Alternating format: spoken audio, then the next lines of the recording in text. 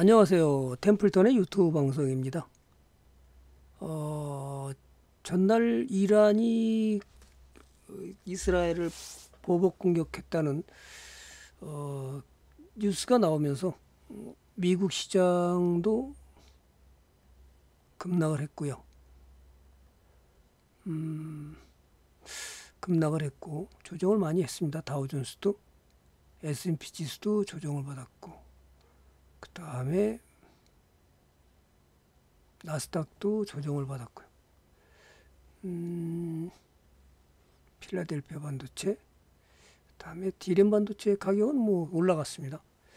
이런 상황에서 우리 시장도 역시 예, 우리 시장도 아침에 장중에 음, 5분봉을 보면 아침에 코스피가 급락을 했었죠. 이렇게 급락하다가 어, 낙폭을 줄이면서 올라왔죠. 자, 바이든 대통령이 예, 이스라엘의 네, 네타냐후 총리하고 통화 이후에 보복 공격을 철회하고 이란도 추가 군사 작전이 없다 이런 거로 인해서 어, 일단락되면서 지수가 아침에 개파락으로 떨어지면서 폭락하던 주가가 지수가 올라왔습니다. 또 매수 역시 어, 외인들이 오늘 말 팔다가 어, 시간대를 보면 음, 코스닥은 오히려 끝나면서 샀죠.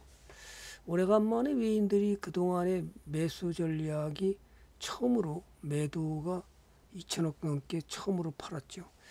환율이 또 상당히 연고점을 갱신하면서 어, 지수를 갖다가 위험에 빠뜨리는 이런 모습이 보이고요.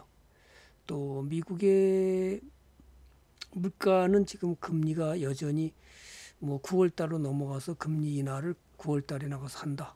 이런 얘기가 나오고 어, 전혀 지금 시장에 대한 어, 호재가 안 나오는 입장에서도 불구하고 어, 주도주는 계속 가고 있습니다. 대표적인 게 이제 그 HBM 수혜주들 오늘도 암리반도체는 떨어지질 않고 올라갔죠. 자, 이런 것들이 상당히 중요하다. 주도주를 뭐를 잡고 가느냐. 시장이 전쟁의 공포에도 불구하고 아침에 폭락할 때 이것을 사들일 수 있는 용기와 배짱이 있는 사람이 그죠? 용기와 배짱이 있는 사람이 결국 돈을 버는 거잖아요. 용기와 배짱.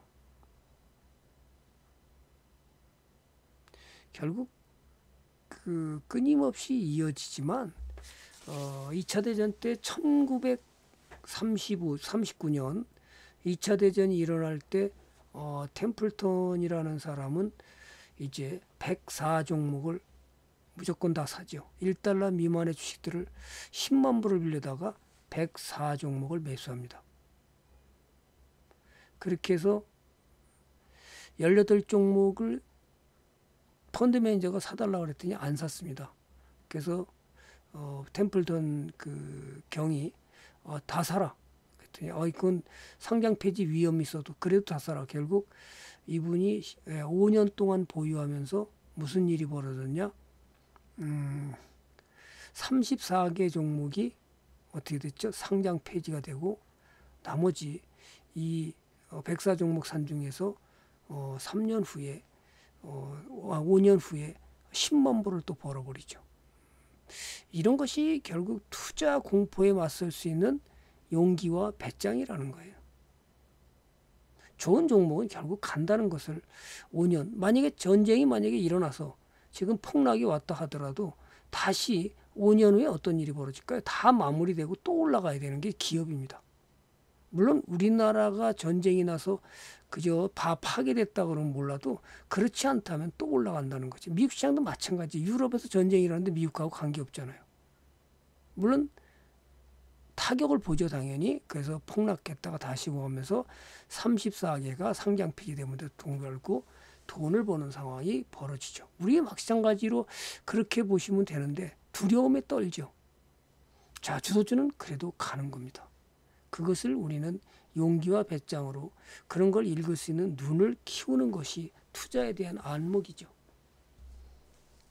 그래서 오늘도 반도체 소부장 기업을 샀더니 예, 매수 들어갔더니 14% 급등 나왔습니다.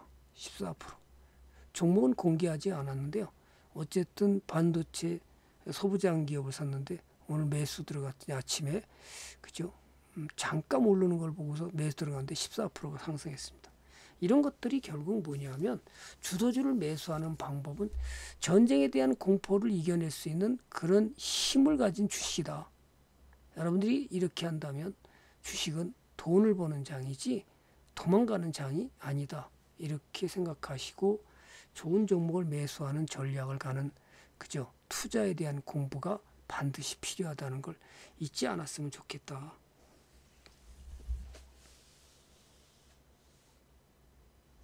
자, 테마주를 만지게 되면 바로 이런 겁니다. 우리가 화천기계를 예를 들어서 어, 테마주를 이때 샀습니다. 박스를 넘어가는 자리에서 매수를 했는데요. 여기 딱 보시면 매수를 들어갔다가 아, 이거 아니죠. 화천기계 화천기계를 이 박스를 넘어가는 이 자리에서 매수를 했다가요. 여기서 이날 팔았습니다. 지금 어떻게 됐나요? 매수한 자리부터 떨어지고 그죠? 테마라는 게 이렇게 무서운 겁니다. 테마를 갖다 조국 테마니 정치적 테마를 이런 것을 매수했다 깡통 나는 경우가 많은데요. 하여튼 우린 여기서 사서 여기서 팔았습니다. 수익 매매로 이런 것들이 제가 물론 수익 매매를 어쩌다 하나씩 하긴 하지만 전적으로 하는 건 아니고 저는 중장기 투자를 주로 하고서 이렇게 가는 경우도 가끔씩 있습니다. 그래서 더 이상 벌이 부실 기업은 아니니까 가도 여기서는 우리는 매도하자. 이런 것이 어, 투자에 대한 안목을 키우셔야 되고요. 음, 중요한 것은 어, 어떻게 어떤 종목을 사느냐가 굉장히 중요한 것이고 어, 주도주를 가기 위해서는 지금도 가고 있다. 뭐 HLB를 갖다가 무슨 어, 이렇게 해서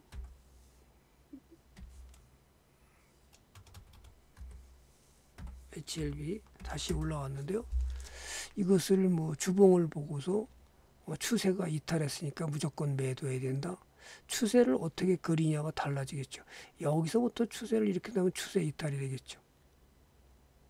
그죠? 여기서부터 그린다 그러면 추세 이탈인가요? 아직은 아니죠. 자, 어떤 추세선을 그리는 건가요? 굉장히 중요하죠. 최소한 추세선이 맞닿기 위해서는 두 개 갖고는 부족합니다. 여기처럼 하나, 둘, 셋, 이 추세선이 많이 접해야 되는데, 그럼 여기 아직 추세선을 그릴 만한 자리가 아직 오지 않았죠. 이렇게 그려야 되나요? 자, 그래서 아직은 어, 기다려 봐야 된다. 그래서 뭐 쌍W가 나와서 뭐 끝났다 이렇게 얘기 가 이런 뉴스가 나오던데요. 여러분들은 이런 거에 현혹되지 말고 이게 쌍W 맞습니까? 이렇게 이렇게요? 저는 여러분들 그런 거에 너무 연연하지 마시고 기업이 앞으로 성장 가능성이 얼마나 있느냐.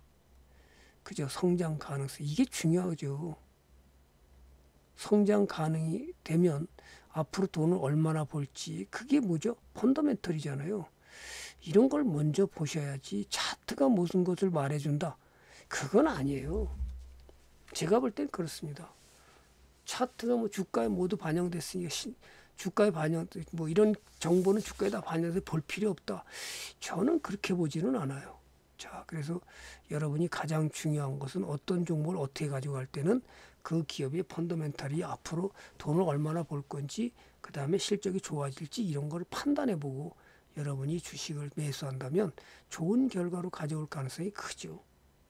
자, 이렇게 시장 어려운데도 불구하고 주도주는 가고 있다. 그것을 명심하시고 좋은 종목을 매수해서 수익을 크게 가져는 전략을 가져갔으면 좋겠습니다. 짧게나마 오늘 여기까지 하고요. 좋아요와 구독은 저의 사랑입니다. 여기서 마치겠습니다. 감사합니다. 모두가 열심히 공부하셔서 수익 내는 투자자 되시기를 진심으로 바라마지 않습니다. 감사합니다.